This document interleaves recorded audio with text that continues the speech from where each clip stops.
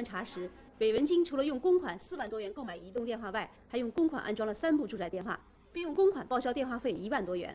在他刚当上财政局长不久，就用公款带妻子出国旅游。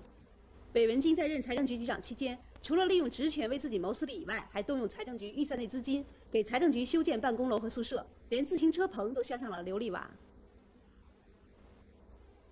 像这样的自行车棚在你们县里多吗？不多啊，见过吗没有签过哈。没有签过。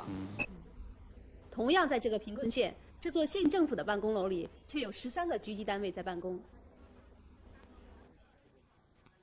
那你觉得，在一个贫困县里啊，财政局搞得这么好看、这么漂亮一点，是不是一种奢侈浪费呢？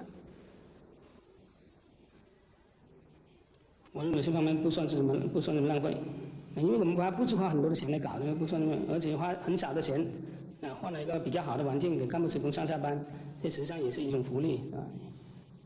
觉得有必要搞这么好的车棚吗？不必要的，放放单些搞那么好的棚没有没有意思的。你认为这是对你们的一种福利吗？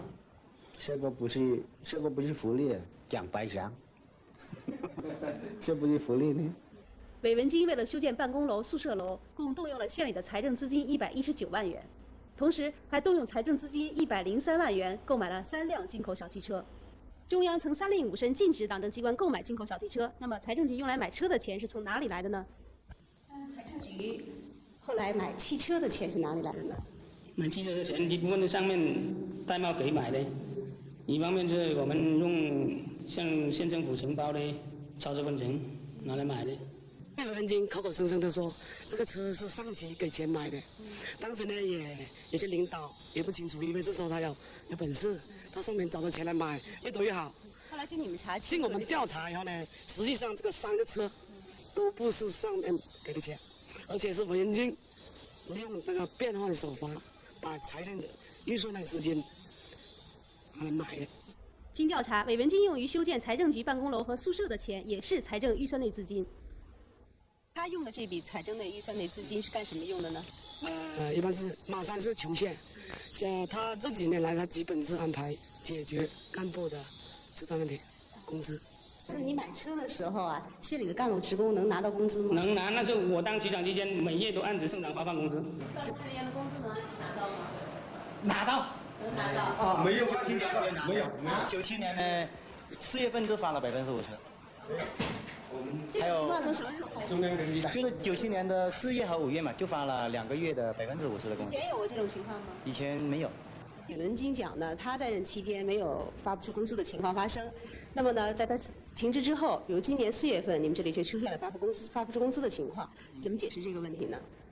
这个呢，据韦文金说，他在任职期间能够按时发工资，这条呢是我们是按照基本工资能够按时发是事实，但是呢，这里面呢，因为他亏空了财政的呃中国的财政的财力，呃，利用呢借款来发，采取呃去通常补市场的办法来进行发放的。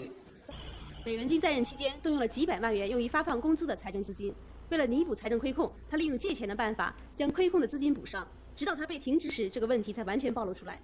韦文金的做法在县里造成了很坏的影响，与财政局一墙之隔的审计局也不甘落后，将围墙改建成用琉璃瓦装饰的办公用房。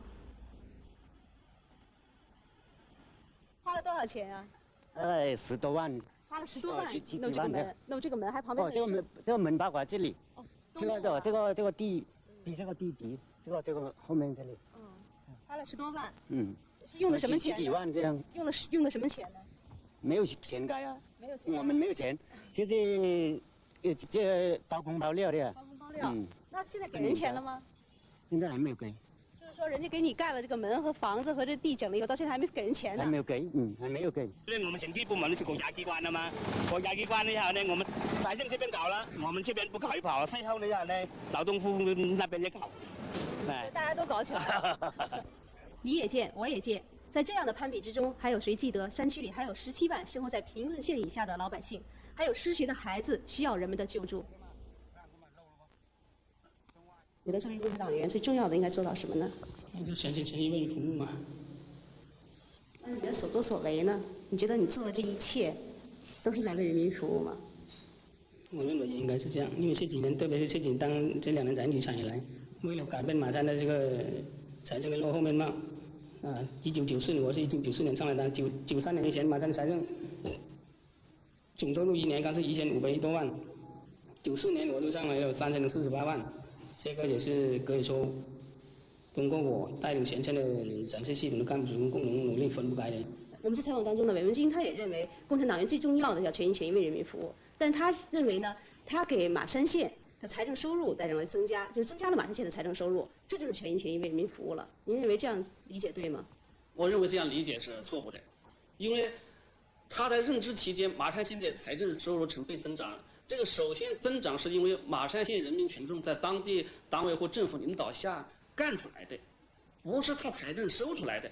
那人民群众干出这些效益，他用党的这个方针政策把它收集起来，这是他作为财政局局长的一个最基本的职能，最最起码的任务。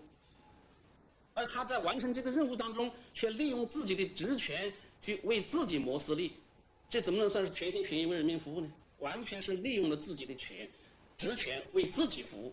那么这个案子是否具有典型性呢？应该说是具有典型性的，他是利用了党和人民赋予的手中的权利，为个人或者是小集体去谋取私利，这样就严重的损害了党和政府在人民群众中的形象。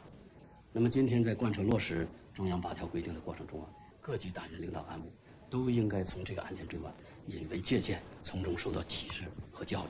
一个就是要党员领导干部始终要牢记啊全心全意为人民服务的宗旨。第二条就是要始终发扬党的艰苦奋斗的优良传统。第三条就是应该加强监督和接受监督。第四一条啊，就是应该对严重的违法违纪的问题要严肃查处。你像在贯彻执行八条的过程中，就是我们党啊对对各级干部提出的一些个严格的要求啊，这个时候还有人在那里面去顶风违纪作案，就毫不能姑息迁就，一定要严肃查处，不然人民群众不答应，我们党的事业也是不答应的。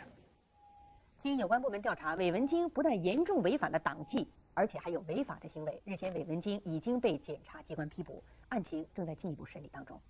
好，感谢您收看今天的焦点访谈，再见。